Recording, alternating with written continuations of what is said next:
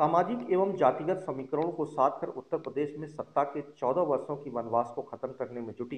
भाजपा के समक्ष बिहार की तर्ज पर प्रदेश में समाजवादी पार्टी कांग्रेस का महागठबंधन गंभीर चुनौती पेश कर सकता है। ऐसे में इस चुनौती की काट के लिए पार्टी सोशल इंजीनियरिंग के अपने आजमाए फार्मूले को आगे बढ़ा रही है।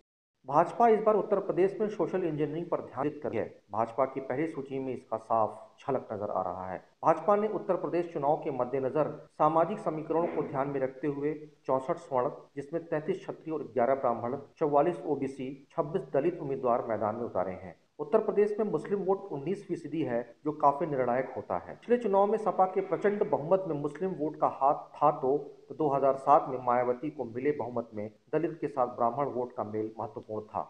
राजनीतिक विश्लेषकों के मुताबिक पिछले दिनों सपा में छिड़े घमासान से मुस्लिम मतदाता थोड़ा संशय में था। सपा के लिए गठबंधन इसलिए भी ज़रूरी हो गया था क्योंकि उसकी आशंका थी कि कमज़ोर सपा के साथ मुस्लिम मतदाता नहीं खड़ा होना चाहता। सपा और कांग्रेस के महागठबंधन के बाद भाजपा को उम्मीद है कि बसपा और महागठबंधन के बीच मुस्लिम मतों के विभाजन का उसे लाभ मिलेगा।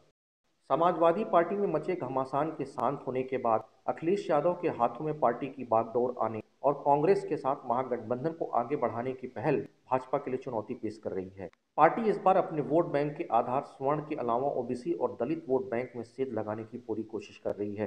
टिकट उन्हें भी दिया जा रहा है, जिनके जीतने की संभावनाएँ प्रबल हैं। एक तरफ़ सपा मुस्लिम यादव समीकरण के सहारे सत्ता में वापसी की कोशिश कर रही है तो भाजपा कल्याण सिंह के सोशल इंजीनियरिंग के आजमाए फार्मूला का ध्यान केंद्रित कर रही है। किस पार्टी का फार्मूला हिट होगा, यह तो आने वाला चुनाव ही तय करेगा। लखनऊ से कैमरामैन शैलेंद्र के साथ आशुतोष सिंह जनमत न्यूज़।